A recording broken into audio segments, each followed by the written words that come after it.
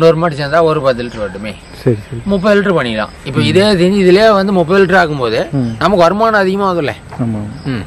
காட்டில் போய் அறுத்தாந்து போடுறோம். அறுத்தாந்து போட்டோம் தினம் வந்து ஒரு ஐம்பது கிலோ கொடுக்குறோம்னா இது வந்து ஒரு நாளைக்கு இருபது கிலோ இருபத்தஞ்சு கிலோ வரைக்கும் கொடுத்தா போதும்.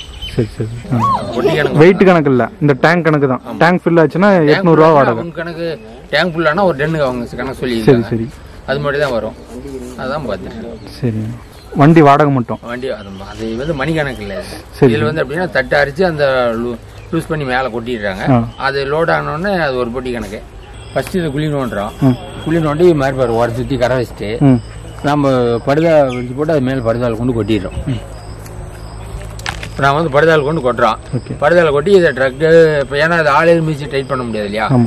அதனால ட்ரக்கை வரைச்சி விட்றோம். எத்தனை நாள் கழிச்சுண்ணா? ஒரு நான் முப்பத்தஞ்சு நாள் நாற்பது நாள். முப்பத்தஞ்சு நாள் நாற்பது நாள் தட்டு ஒரு வருஷம் தாங்கும். ஒரு வருஷம் வரைக்கும் தாங்கும். ஒரு வருஷம் வரைக்கும் நம்ம காத்து புகாத மாதிரி நல்லா டைட்டா பண்ணதுனால நம்ம தான் டைட் பண்ணிடுறோம் இல்லையா? ஆடு வந்து பாலுமே அதிகமாக கிடக்கும் உங்களுக்கு. பால் ரெண்டு லிட்டர் கறக்குதுன்னா எத்தனை லிட்டர் மூணு லிட்டர் வரும். ஒரு லிட்டர் சேர்ந்து வரும். ஆமா. ம். ஆமா பத்தாவது இது பத்தாவதுக்கு வேஸ்டேஜ்ல எதுவும் கிடையாது. குண்டாவில் எழுதி வச்சிடறோம். விரும்பி அதிகமா விருப்பப்பட்டு அதான் ஒரு மனுஷனுக்கு எது கிடைக்காது ஆசைப்படுறாங்க அது மாதிரி இதை வந்து கொண்டு போய் மாட்டுக்கு வச்சோம்னா நல்லா அதிகமா விரும்பி சாப்பிடும். இப்போ இந்த மிஷினில் தான் நம்ம சைலேஜ் கட் பண்ணிட்டு இருந்திருக்கோம் ஆமாண்ணா இந்த இப்போ இந்த மிஷில் தான் கட் பண்றாங்க. சரிங்களா இது வந்து மணிக்கு எட்நூறுரூவா பில் ஆகுது உங்களுக்கு வண்டி வாடகை மட்டும். வண்டி அது வந்து மணி கணக்கு இல்லை.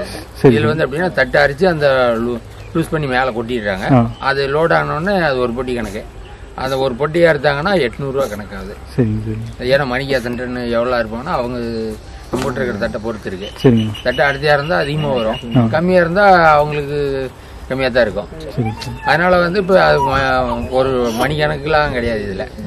பொட்டி கணக்கு வெயிட் கணக்கு இல்லை. இந்த டேங்க் கணக்கு தான். டேங்க் ஃபில் ஆச்சுன்னா எட்நூறுரூவா வாடகை. கணக்கு டேங்க் ஃபுல்லானா ஒரு டென்னுக்கு அவங்க கணக்கு சொல்லி சரி சரி. அது மட்டும் தான் வரும். அதான் பார்த்துட்டு சரி. இப்போ இந்த கட் பண்ண மெட்டீரியல் வந்து என்ன பண்றீங்கண்ணா இதை கட் பண்ணால் நாங்கள் குழி வெட்டி வச்சிருக்கோம். குழி வச்சு படுதா இரநூத்தம்பது மைக்ரான் நாங்கள் படுதா ஆ. கீழே அந்த குழிக்குள்ள பா ஷேப்பில் குழி குழி வெட்டிருக்கிறோம். ஏன்னா ஒரு குழி சதரமாக வண்டி போவதில்லை உள்ள?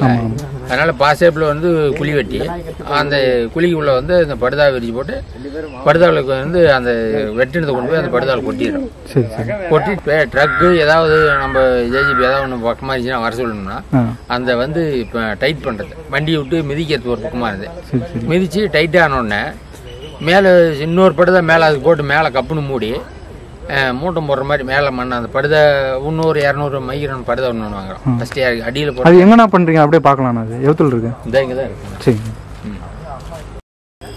ஃபஸ்ட்டு இதை குழி நோண்டுறோம்.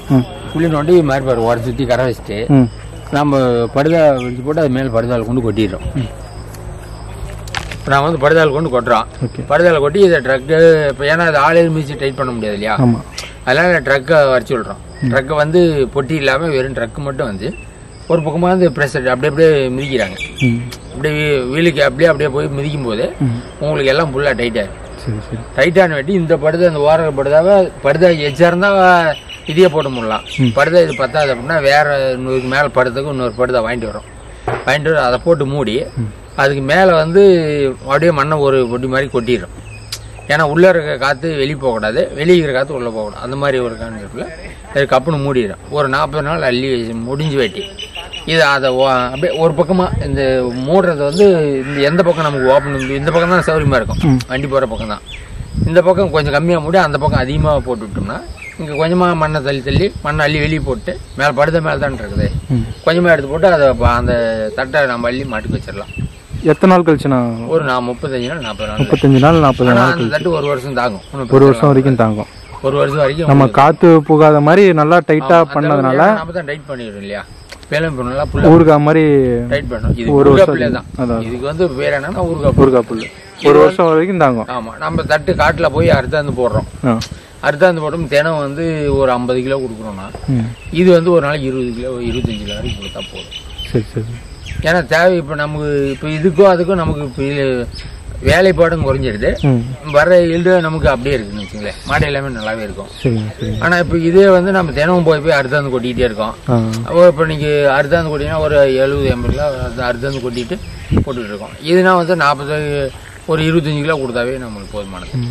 இதே மிஷின் தானே வந்து கட்டு கட்டுற மாதிரியே மிஷின் இருக்கு நம்மளுக்கு. இப்ப இது அது கட்டு கட்டினீங்கன்னா வந்து அது சேல்ஸ் சரியா இருக்கும் சேல்ஸ் வேற உங்களுக்கு விற்கிறது கரெக்டா இருக்கும். ஆமா. வெளியில விக்கிது அவங்க வாங்கிட்டு போறாங்க அப்படின்னா ஏன்னா அவங்க தூக்கி அடுக்கணும் அதுக்கு செட் ஆகும். ஓகே. இது நம்ம ஒன்லி நம்ம உங்க மட்டும் use இருக்கும்போது இது நமக்கு பெஸ்ட் ஏன்னா இதை வந்து சேல் பண்ண முடியாதா? இதை சேல் பண்ணலாம். அந்த மிஷின் வந்து அதை வாங்கி வச்சு அதை இதை மறுபடியும் அதை கட்டி கட்டி பண்ணணும். ஓ கட்டு கட்டி தான் கொடுக்க முடியும். ஆமா சும்மா அதை அள்ளிதான் அள்ளி ஓப்பன் பண்ணிட்டோம்னாவே அது கெட்டு போயிடும் ஆமா ஓபன் பண்ணா மூணு நாளைக்கு தாங்கும். அந்த அதுக்குள்ள நாம கொடுத்தீங்கன்னா மட்டும்தான். இல்லைன்னா அது உலர்ந்துருன்னு வச்சுங்களேன். இப்போ இது இப்போ வந்து இருலாம் இது பாதி இதாகினோடனே அந்த ஈரப்பதம் அப்படியே இருக்கும் நமக்கு இந்த ஈரப்பதம் இதுக்குள்ளேயே தான் இருக்கும். வெளியில போறதுக்கு இல்லை. ம் ஆனா நீங்க வெளியள்ளி உணர்த்திட்டீங்கன்னா அப்புறமா அது காஞ்சிடுதுல காஞ்சி காயும்போது அதனுடைய குவான்டிட்டி நமக்கு வந்து கம்மியாகும் சரி சரி. அதனால வந்து நம்ம இதை பண்ணிக்கலாம் சொந்த யூஸுக்குன்னா இப்படி பண்ணா கரெக்ட் சேல்ஸ் பண்றதா மிஷின் போடுறது கரெக்ட் மிஷின் போட்டுக்கலாம் மூட்டை பிடிச்சிக்கலாம். அதை பம்ப் பண்ணி அதை சேல்ஸ் பண்ணிட்டு இருக்கலாம். ஏன்னா அது சேல்ஸ் பண்ணும்போது தூக்கி போடுற இடத்துல கால் வேணும். அதுக்கு மெயின் அதுக்கு தான் ஒரு ஐம்பது கிலோ பேக்கில் தான் நீங்கள் பண்ண முடியும். சும்மா நூற்றி இரநூறு கிலோ பேக்லாம் பண்ண முடியாது. அதனால ஐம்பதாயிரம் செலவு வந்து அந்த சாக்கு எல்லாமே பார்த்தீங்கன்னா அந்த சாக்கை வந்து முப்பது ரூபா நாற்பது ரூபாய்க்கு வந்துடும் ஒரு பைய வந்து. ஆனால் அது மறுபடியும் அதில் சின்ன எறும்பு கடிச்சிட்டாலுமே எறும்பு கடிச்சு உள்ளே போயிடுச்சுன்னா அந்த கேப்பில் காற்று போகும்போது உங்களுக்கு அந்த இடம் கெட்டு போக ஆரம்பிச்சிடும் ம் ம் ம். வெளி காற்று உள்ளே போனால் அந்த பையில் இருக்கிறது கெட்டு போக ஆரம்பிச்சிடும் ம் ம். அப்போ அது வெளி போகாமல் பார்த்துக்கணும் ஒரு கை இருக்கம்பளி எதுவும் இல்லாமல் சுத்தமாக இருக்கணும். அப்போ அது சுத்தமாக இருந்தால் மட்டும்தான் நமக்கு அது செட் ஆகும். இல்லை அப்படின்னா அது கடிச்ச அன்னைக்கெல்லாம் உடனே அள்ளி போட்டா. அந்த சாக்கு ஒரே யூஸ் தான். மறுபடியும் ஓட்டையாச்சும் மறுபடியும் அந்த சாக்கு யூஸ் இல்லை. யூஸ் இல்லை. அவ்வளோதான் ஏன்னா நாம் நம்ம முப்பத்தஞ்சு ரூபா போட்டு ஒரு பை வாங்குறோம்னா ஆஹ், அது மறுபடியும் ஒரே தரம் தான் யூஸ் அப்போ அந்த முப்பத்தஞ்சு ரூபா நமக்கு வேஸ்ட் தானே. நீங்க சாக்குல ஃபில் பண்றது சொல்றீங்க. இப்போ மிஷின் வந்து பாத்தீங்கன்னா பேப்பர்ல கட்டுறதே வந்திருக்கு. இல்லை பேப்பரில் கட்டுறோம். பேப்பரில் கட்டி போடும்போது அது அதுவும் ப்ரெஸ் பண்ணிடுது. அதுவும் ப்ரெஸ் பண்ணிடுது. நாங்களும் அதை வாங்கியிருக்கோம் வாங்கி பண்ணிடுவோம். ஆனால் அது அப்படி ப்ரெஸ் பண்ணும்போது அது குறிப்பிட்ட நாளைக்கு தான் நம்ம வச்சிருக்க முடியும். இப்போ இது வந்துன்னா ஒரு வருஷம் வச்சிருக்கலாம். அது குறிப்பிட்ட நாளைக்கு மட்டும்தான் நீங்கள் வச்சிருக்க முடியும். ஏன்னா பேப்பரில் காற்று அது எப்படியாவது ஒரு பக்கம் ஓட்டை இதில் போட்ட போகிறதா அதுலேயும் ஓட்டம் போட்டுச்சுன்னா அது ஆட்டோமேட்டிக் வந்து அந்த இடம் கெட்டு போக ஆரம்பிச்சு. அது ரொம்ப நாளைக்கு வச்சிருக்க முடியாதுன்னு வச்சுங்களேன். எந்த ஒரு ரவுண்ட் பண்ணி மிஷின் போட்டால் நாம் ஒரு ஒரு மாதம் ஒரு மாதத்துக்கு தேவையானதை போய் வாங்கிக்கிறோம். அப்போ நமக்கு வந்து அப்போ அதிகமாக ஒரு மாதத்துக்கு ஒரு ரெண்டு நாலு டன் ஓட்டுறோம். ரெண்டு டன் திங்கிற அளவுக்கு இருந்தால் மட்டும்தான் நம்ம அதை வாங்க முடியும். இல்லைன்னா ரெண்டு மூணு பேர்த்து பக்கத்து காட்டுக்காரு நீங்கள் நீ நீ ஒரு ஐநூறு கிலோ வாங்கினா ஐநூறு அது மாதிரி செட் பண்ணிக்கலாம். அது வாங்குறதுக்கு ஆள் இருந்தா வாங்கி போடலாம். ஆமாம் ஏன்னா நீங்கள் ஐநூறு கிலோவுக்கு ஒரு ஐம்பது கிலோமீட்டருக்கு அந்தாண்டு விற்கிறாங்க போய் வாங்கிக்கிறோன்னா அந்த வண்டி வாடகைலாம் அதில் தானே சேருது. அந்த மாதிரி பிரச்சனை வருது. இப்போ ஒரு ரெண்டாயிரம் கிலோ வாங்குறோம் ஒரு ஆயிரத்தி ஐநூறுரூவா வாடகைன்னா ம். அதுக்கு கிலோவுக்கு எழுபது பைசா வாடகை வாடகை தனியாக ஆகி போயிடுது நமக்கு. இந்த மாதிரிலாம் நமக்கு பிரச்சனை வருது. அதனால இது சொந்த யூஸ் இது எப்படியே ஒ- ஒரு ஒரு ஏக்கர் அரை ஏக்கரத்தை காட்டுறது. இதை அப்படி போட்டு அரிசி கொட்டிக்கலாம். பிரச்சனையே கிடையாது. நாலு மாடு இருந்து பண்ணிட்டோம்னா இது ஒரு வருஷம் வந்தாங்கன்னா ஒரு வருஷம் நமக்கு பிரச்சனை இல்லையே.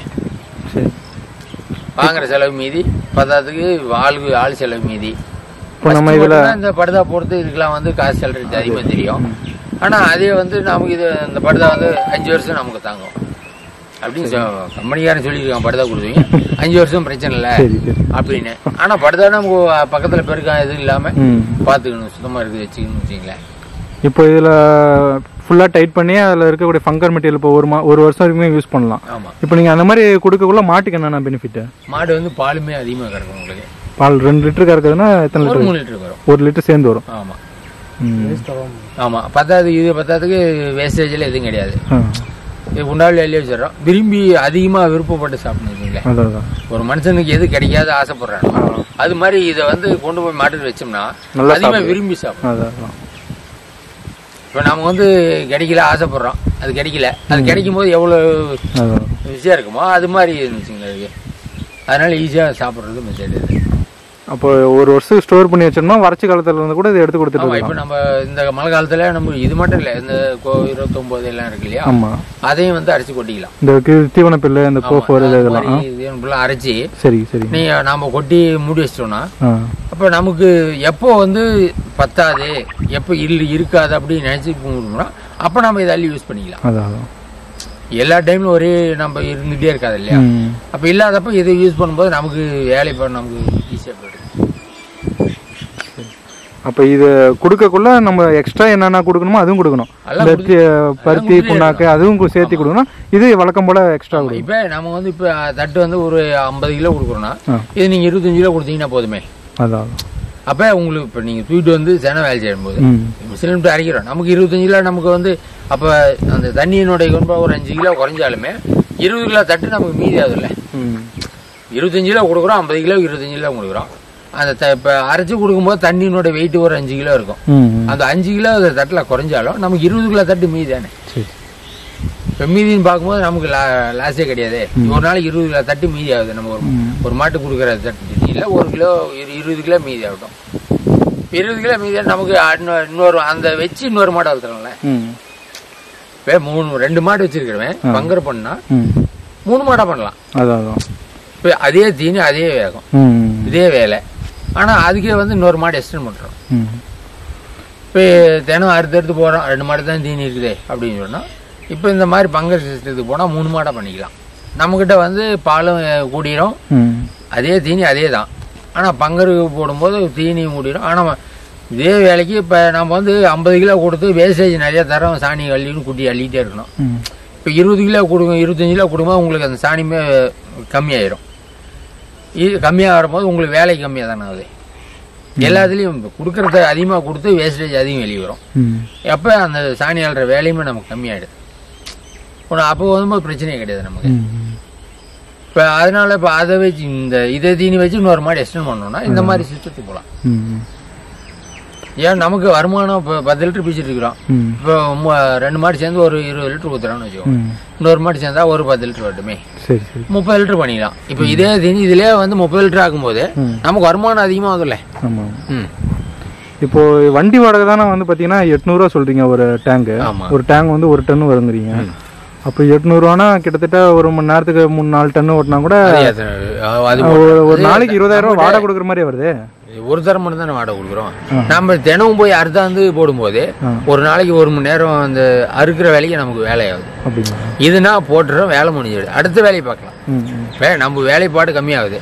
டக்குன்னு போகிறோம் ஓப்பன் பண்ணி கொஞ்சம் அள்ளி எல்லாத்துக்கும் ஒரு குண்டு அள்ளி வச்சிட்டோம்னா மறுபடியும் சாயங்காலம் தள்ள போகிறோம் பொழுதுங்க அள்ள போகிறதில்ல. ஆனால் இப்போ நீங்கள் எட்நூறுவா கூலிக்கும் போது இப்போ நீங்கள் இதை ஆள் விட்டு பண்ணும்போது ரொம்ப ரேர் ஆகுதுல்ல இப்போ நீங்கள் ஒரு ஆள் இப்போ வச்சுன்னா இது தினம் ஒரு ஆள் வைக்கணும். இப்போ இந்த வேலைக்கு இப்போ மிஷின் இல்லை நம்ம தினம் ஐம்பது கிலோ நாலு மாடு வளர்த்துறோம்னா ஒரு ஆள் வைக்கிற மாதிரி இருக்கு. நீங்கள் எங்கேயும் போக முடியாது. நீங்கள் செஞ்சாலும் ஒரு ஆள் வைக்க ஆள் போ. உங்கள் கூலிக்கு கணக்கு போடணும்ல. உங்களுக்கு ஒரு நாளைக்கு ஒரு ஐநூறு அறுநூறுவா கூலி ஐநூறுரூவா கூலினா அந்த ஏருக்கு தகுந்த மாதிரி ஒரு ஐநூறுரூவா கூலிப்பா பத்து நாளைக்கு ஐயாயிரம் ஆச்சா? மாதம் அந்த அளவுக்கு க- பண்ணி தரணும். ஆனால் அதே வந்து இப்போ பாஞ்சாயிரத்துக்கு நீங்கள் அட்டு விட்டு அறுத்துட்டீங்கன்னா. ஆறு மாதம் அந்த தட்டை அள்ளி விட்டுருக்கலாமே. அதுவும் உங்கள் வேலை தான் பாஞ்சாயிரத்துக்கு அது விட்டாலும் ஆறு மாதத்துல நீங்கள் ஒரு நாலு மாட்டுக்கு யூஸ் பண்ண அள்ளி அள்ளிட்டு இருக்கலாம் அப்போ உங்களுக்கு வேலை ஒரு நாள்து ஒரு நாள்து வேலை பல நாள்து லாபங்கிற மாதிரி நமக்கு வேலைப்பாடே குறைஞ்சிடுது ஓகே.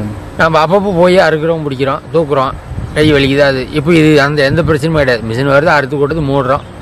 அள்ளும் போது மட்டும் டைட் பண்ணும்போது மம்பி வச்சு அவங்க தலைமை வச்சு தான் அள்ள முடியும். சும்மாலாம் அப்படியே கையெல்லாம் பிடுங்க முடியாது ஏன்னா மிஷின் வச்சு ஸ்டோரேஜ் பண்ணிடுறாங்க. அப்படிங்கும்போது நம்ம ஏதோ வண்டியில் வெட்டுற மாதிரி தான் இருக்கும். வெட்டி தான் அள்ளணும். அது வெட்டி அள்ளி கொண்டாட வச்சுனா போதும். நீங்கள் எத்தனை மணி வச்சுருக்கீங்க? இத்தனை இவ்வளோ ப்ராசஸ் பண்ணுறது நாம வந்து ஒரு ஏழு மாடு வச்சிருக்கோம். ஒரு நாலு கண்ணுட்ரிக்கு ஏழு மாடு நாலு கன்று குட்டிக்கு ப்ராசஸ் பண்ணலாம். ஆமாம் சரிங்க. சரிங்கண்ணா நன்றி.